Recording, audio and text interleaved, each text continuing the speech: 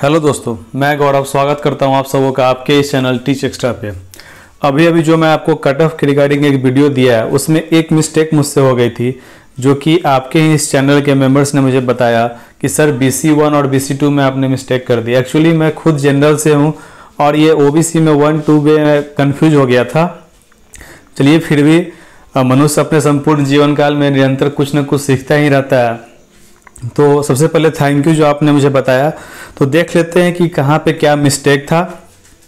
और ये सिर्फ़ सोलह सीट के लिए कटअप है। चलिए जनरल जैसे कि मैंने आपको बता दिया था 95 से 100 के बीच में रहेगा फीमेल का 90 से 95 ईडब्ल्यूएस मेल का 90 से 95 ईडब्ल्यूएस फीमेल 85 से 90 अब यहाँ पे देखिए B C two actually B C two हो गया आपको पिछड़ा वर्ग। और बी सी वन हो गया अत्यंत पिछड़ा वर्ग। तो इसी में मैं कंफ्यूज हो गया था। तो बी सी टू का कटअप रहेगा 85 से 90 बी सी टू में फीमेल का रहेगा 80 से 85 अब बात करते हैं हम लोग बी सी वन या ई बी सी यानी कि अत्यंत पिछड़ा वर्ग। यहीं पे मिस्टेक था तो इनका कटअप जा सकता है 80 से 85 मेल कैंडिडेट का और फीमेल का 75 से 80 के बीच में।